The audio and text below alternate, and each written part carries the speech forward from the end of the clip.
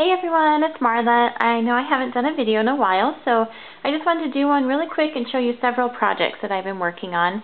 Um, I've been blogging about all of these, but um, I don't usually do a video on each individual project, so I just thought I'd combine them all and do one video for you. So this is a 12 by 12 layout that I did um, using the Prima Pastiche paper, and this is my new favorite paper line. I have to say, I absolutely am crazy about it. So um, there's the layout. The picture is um, when my son was three weeks old, and this is my hand and my husband's hand, and we were just holding his little feet. Look at how tiny they are. Oh my goodness, it goes so fast. anyways, um, I don't want to get all emotional on you guys. Um, here's some Prima flowers, lots of Prima bling. Um, this is actually some of the packaging from Prima flowers that I threw in there. Um, this is a journaling spot from the Prima Pastiche collection. Um, I doubled up the lace, um, and this is all Prima lace. This is pretty much an all Prima layout. It was really fun. So there's that one. Um, I have another 12 by 12 layout that I did.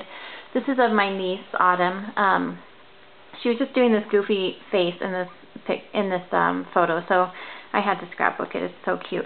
So I titled it Silly Sweetheart, and I just um, kind of ruffled up some late um, ribbon on the edge, lots of primas and some cute buttons. Um, this background paper is my mind's eye, as well as this polka dot paper, and then this one is from the Prima Shabby Chic collection. And there's a tattered Angels chip piece um, flourish in the background that I I used iridescent gold and I just used some um, Tim Holtz um, distress ink.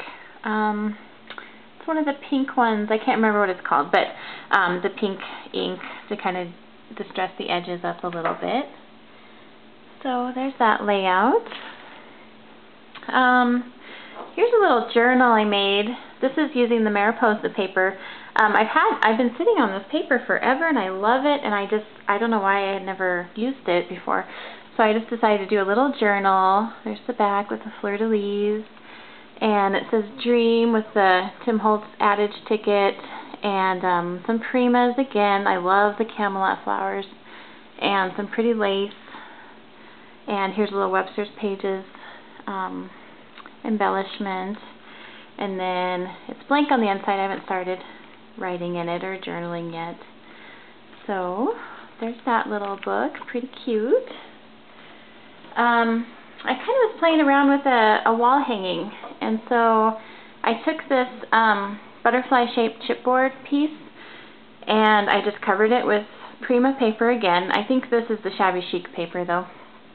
And used lots of flowers and um, some lace on the background there and lots of Prima bling as well. So again, like an all Prima project here, but I love it.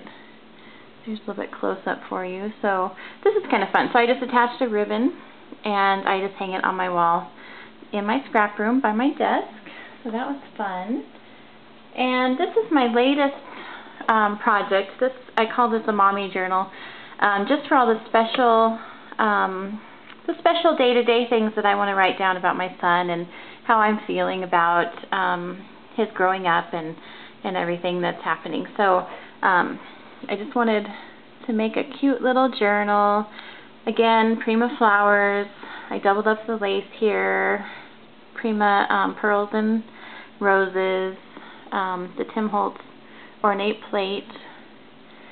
And then this is all the Mariposa paper again from DCWV. So on the inside I just have a little picture, but this isn't really a photo album, but I can I can add pictures in if I want because um, I made enough pages to add pictures. Um, here's a little pocket page I made. So if, you know, he draws me a picture or something, I can throw it in the pocket. And so I did both um, both the designer paper and cardstock in this and just filled it up.